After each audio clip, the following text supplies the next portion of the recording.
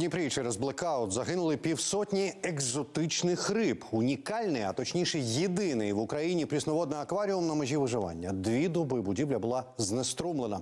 Низьку температуру води та відсутність кисню витримали не всі підопічні. Як персонал рятує прісноводних далі у сюжеті. Йдемо в вольєр до крокодила. Тут у нас така імпровізований обігрів.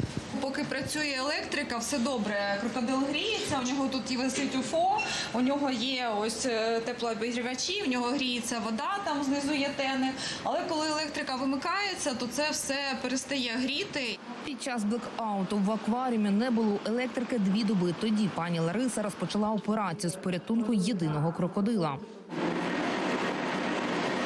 Для триметрового красення потрібно було забезпечити мінімальну температуру в 25 градусів тепла. З дому принесла газовий балон та плитку. Так гріли воду та наповнювали не басейн.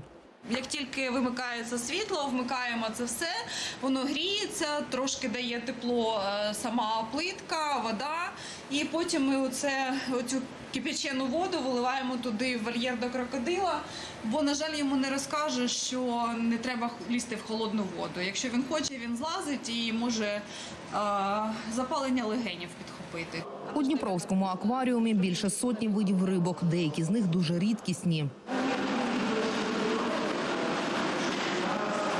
Але велике відключення не всі пережили через низьку температуру в акваріумах. А вона опускалась до 13 градусів. Там нестачу кисню, бо без світла не працювали компресори. Загинули з півсотні підопічних. Серед них коробкої та хижі піранії. Оці от дві великі це пірані, ті хижі, про яких ми стільки чули. Вони дуже чутливі і до кисню, до рівня його у воді, і до температури також. Тобто вони перші почали гинути. Ну, тут загинуло от наразі дві, лежало п'ять, але е, трьох таки вдалося реанімувати. Реанімувати інших рибок сьогодні завдання номер один перед працівниками акваріуму. Ми дуже хвилювалися в ці дні за пірандієвих риб. Вони дуже чутливі. Зокрема, про чорного паку. Е, Оці екземпляри вони для нас дуже цінні, тому що вони знаходяться тут з самого відкриття акваріуму. Вони тут знаходяться з 85-го року. Та вже нині зізнаються працівники акваріуму. Їм вдалося звести до мінімуму втрати. Ще до війни завдяки волонтерам придбали 20 керамічних електрообігрівачів та генератор. Але він забезпечує лише частину потреб, і на його заправку потрібно щомісяця до 200 тисяч гривень.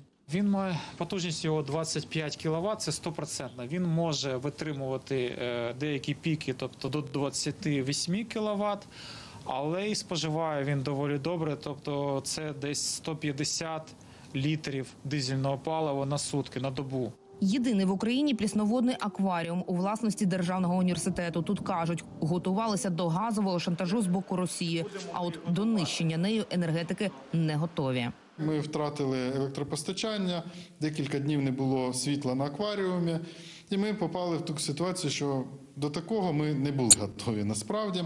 Місяць університет листується з енергетиками, аби ті повністю не знеструмлювали акваріум на тривалий час. Також звернулися до іноземних партнерів по допомогу. Зараз ми отримали схвальне рішення, позитивну відповідь від асоціації про те, що вони згодні профінансувати допомогу в 20 тисяч євро для того, щоб підтримати е, акваріум в осінньо-зимовий період. Скільки триватиме бюрократична тяганина та коли гроші надійдуть на рахунок університету, невідомо. Поки ж порятунок підопічних акваріума на плечах його працівників та волонтерів. Від волонтерів ми також там просимо закупити е, керамічні газові обігрівачі, які можуть працювати від газового балону без електрики.